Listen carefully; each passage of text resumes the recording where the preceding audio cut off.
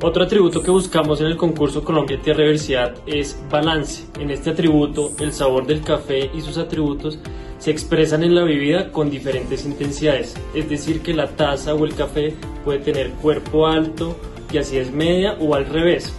Finalmente, es la justa proporción entre estos atributos que logran la mezcla perfecta y lograr el mejor equilibrio. Caficultores, los invitamos a participar en esta sexta edición de Colombia Tierra Diversidad.